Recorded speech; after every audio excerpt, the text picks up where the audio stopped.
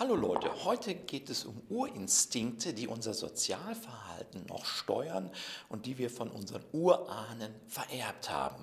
Und die drücken uns immer so unterschwellig in Richtung Diktatur. Es ist deswegen wichtig, die Mechanismen zu verstehen. Und die Wissenschaft hat da in letzter Zeit eine Menge herausbekommen. Zunächst mal würde man ja denken, dass äh, so, so tierisches Verhalten mit menschlichem Verhalten keine großen Übereinstimmungen hat, dass es da große Unterschiede gibt. Und doch gibt es recht erstaunliche Parallelen. Wir haben hier eine Winkerkrabbe. Die hat eine riesige Schere, die hier vorne zu sehen ist. Und wäre die Schere noch ein bisschen größer, dann würde das Tier sterben, weil es einfach vorne überfallen würde. Aber das Tier braucht diese große Schere. Es kann damit nur winken, wie der Name schon sagt. Und es ist ein Männchen, was mit dieser Schere den Weibchen zuwinkt. Hätte es eine kleinere Schere, hätte es keine Chance, ein Weibchen zu finden, denn die Weibchen wählen nur die Männchen aus mit den größten Scheren, in der vermutlichen Hoffnung, dass ein solches Männchen mit einer so großen Schere vermutlich sehr leistungsstark ist. Das ist natürlich absurd, die Schere ist ja zu nichts anderem zu gebrauchen als zum Winken und sowas würden wir Menschen ja nicht tun. Oder vielleicht doch, wir haben hier diese Riesenautos, SUVs, die sind für den Transport eigentlich vollkommen überdimensioniert und häufig sitzt auch nur eine Person drin und sie dienen im Wesentlichen dem Imponieren, würde ich mal sagen. Oder hier äh, dieser sehr stark ausufernde Rock, er dient der Betonung der weiblichen Figur, aber er ist auch schon so unpraktisch groß, dass man damit eigentlich kaum noch durch die Tür kommt. Also hier gewisse Ähnlichkeiten zwischen Menschen und Tieren. Hier haben wir eine Pavianherde und Paviane haben eine lineare Hierarchie zwischen den Männern. Das sind nur die männlichen Paviane. Es gibt den Oberpavian, den zweitobersten Pavian und unten dann den untersten Pavian.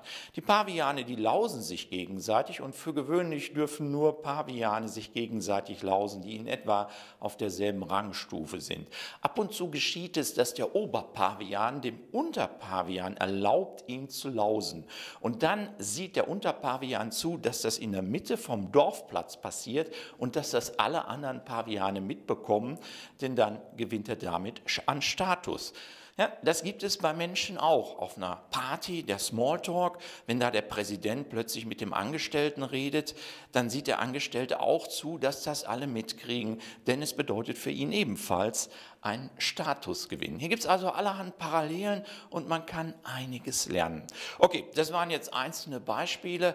Das Wichtige ist aber das Sozialverhalten und da sind wir sehr gut drin, denn in der Evolution gewinnt eigentlich nicht derjenige, der einzeln am stärksten ist, sondern der in der Gemeinschaft am stärksten ist. Zusammenarbeit ist die Erfolgsstory der Evolution. Nicht die Säbelzahntiger haben gewonnen, sondern unsere frühen Vorfahren, die Menschenaffen, die sich gemeinsam gegen den Säbelzahntiger wehren konnten.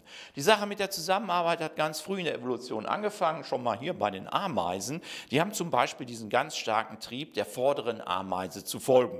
Das ist bei der Nahrungssuche in der Umgebung des Nestes ausgesprochen sinnvoll, aber wenn dieser Follower-Trieb, also dieser Folgetrieb, zu stark wird, wie hier bei diesen Wanderameisen, dann kann es passieren, wenn die erste Ameise aus Versehen im Kreis läuft, dass die Tiere nie wieder aus dem Kreis herausfinden. Das ist eine Todesspirale und bei einigen Sorten führt es dazu, dass die Tiere tatsächlich verhungern. Ja, also die meisten anderen Ameisensorten, die haben so Dissidenten drin. Das sind Ameisen, die plötzlich mal beschließen, ich folge nicht mehr, sondern ich biege links ab und dann bricht diese Todesspirale nach einiger Zeit auseinander. Das ist so ein Beispiel eigentlich, was zeigt, dass zwar dieses Gemeinschaftsarbeiten ganz gut ist, dass es aber auch gut ist, Dissidenten und Querdenker drin zu haben, die diese Kreisprozesse vielleicht irgendwann unterbrechen. Auch hier kann man was aus dem Tierreich lernen. Wir kommen jetzt zu dem etwas ernsteren Teil. Es gibt also Parallelen zwischen dem tierischen äh, Verhalten und dem menschlichen Verhalten und es gibt drei Instinkte, die wir von unseren Vorfahren geerbt haben und die auch heute noch aktiv sind. Und diese drei Instinkte treiben uns unmerklich immer wieder zurück in die Diktatur. Der eine Instinkt ist das Streben nach Hierarchie. Wir wollen immer dem Mitmenschen überlegen sein. Selbst in Kleinkindergruppen, bei denen man die Kinder gerade eben zusammengebracht hat, die kennen sich also nicht, bildet sich sofort eine Hierarchie aus. Es gibt so ein Chefkind oder zwei, die bestimmen, was gespielt wird und die anderen Kinder fragen diese Chefkinder dann, ja, was machen wir denn jetzt als nächstes? Sofort bildet sich eine Hierarchie und natürlich in der Welt der Erwachsenen sind Hierarchien allgegenwärtig. Hierarchien sind aber etwas, was wir eigentlich von unseren tierischen Vorfahren geerbt haben. Und es ist etwas, ja, sagen wir mal, nicht ganz so demokratisches. Und dann gibt es noch eine erschreckende Sache, das ist diese Unterwerfung. Die Natur hat in Tierherden dafür gesorgt, dass Rangordnungskämpfe irgendwann abebben. Und das macht sie, indem Tiere, die also so Kämpfe verloren haben, die sind also unten in der Rangordnung, irgendwann ihre untergeordnete Stellung akzeptieren. Bei den Tieren ist das eine Hormonumstellung. Die werden plötzlich zu Losern, haben so ein unterwürfiges Verhalten und äh, ja, äh, sind also sehr friedlich. Und das ist bei Tieren permanent. Man hat das jetzt aber auch bei Menschen gefunden. Hier haben wir Fußballfans, das sind alles Männer in diesem Fall, und da wurde der Testosteronlevel geprüft. Und wenn die Mannschaft dieser Fans verloren hatte, dann war der Testosteronlevel für einige Tage abgesenkt. Das hatte auch eine Verhaltensänderung dieser Fans zur Folge. Sie waren sehr viel ruhiger, weniger aggressiv und freundlicher. Äh, zum Glück bei Menschen ist das nicht permanent, sondern irgendwann kommt es nach ein paar Tagen zu einer Normalisierung. Aber es ist doch ein Warnzeichen, dass auch dieser Instinkt von den Tieren beim Menschen zumindest rudimentär noch vorhanden ist. Ein dritter und auch sehr wichtiger Steuermechanismus von den Tieren ist die Kontrolle. Die Cheftiere wollen die untergeordneten Tiere kontrollieren. Das ist, man kann es auch schikanieren nennen, das geht so weit, dass sie bestimmen, wann ihre Mit äh, Artgenossen fressen und was sie fressen. Und das gibt es eben auch im menschlichen Bereich. Es gibt immer diese Sucht zu kontrollieren. Man will kontrollieren, was der Mitbürger, was der andere Mensch tut, was er zum Beispiel für Kleidung trägt. Und es gibt in vielen Ideologien eben auch sogar Essvorschriften. Ähm, und diese Kontrolle wird durchgesetzt durch Angstszenarien. Angstszenarien, die Leute werden eingeschüchtert. Wenn ihr euch nicht so verhaltet, wie die Ideologie es euch sagt, dann werdet ihr höllische Qualen erleiden. Wir haben ja ein Bild der Sinnflut und auch hier eben dieser Gedanke, wenn die Menschen nicht Wohlverhalten zeigen, dann werden sie fürchterlich bestraft werden. Also diese Einschüchterungsszenarien, Überflutungen, Hitze und äh, Hunger und ähnliche Dinge, äh, um eine Ideologie durchzusetzen, die gab es schon immer und die wird es wohl immer weiter geben. Nur es ist etwas Animalisches.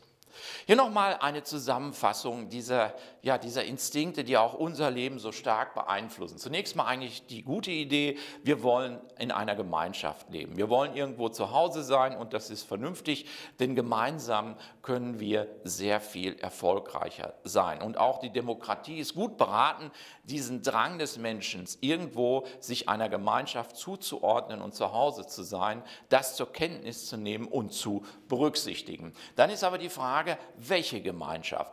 Und diese drei Untertriebe hier, die steuern immer in eine Diktatur, denn sie errichten automatisch eine hierarchische Gesellschaft. Das ist erstmal der Trieb nach Überlegenheit. Ich will meinem Mitmenschen überlegen sein, nach Kontrolle. Ich will bestimmen, was er macht, auch wenn es vollkommen sinnlos ist. Und dann eben auch das Akzeptieren der Überlegenheit anderer, die Unterwerfung.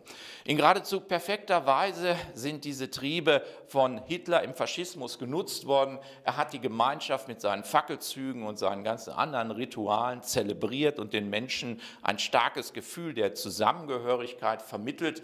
Er hat ihnen die Überlegenheit vermittelt, das ist diese rassistische Aria-Ideologie, wir sind die besseren Menschen. Natürlich, wie in jeder Diktatur, wurde der einzelne Bürger total kontrolliert. Es gab haufenweise Vorschriften und Überwachung. Und das ist übrigens auch das Markenzeichen einer Diktatur. Der Bürger wird überwacht und er wird gezwungen, bestimmte Dinge zu tun. Das ist dann eine Diktatur und es ist ein Urtrieb. Und zum Schluss hier auch diese Unterwerfung, die einzelnen, ja, äh, die Anhänger des Faschismus, sie haben sich unterworfen und sind dem Führer gefolgt. Da haben wir also diese animalischen Triebe in geradezu perfekter Weise und man sieht, wenn man ihnen so viel Raum in der Gesellschaft einräumt, wo das hinführen kann. Es ist also sehr wichtig, die animalischen Instinkte, die wir geerbt haben, unter Kontrolle zu halten und sich überhaupt mal zu vergegenwärtigen, was da vor sich geht.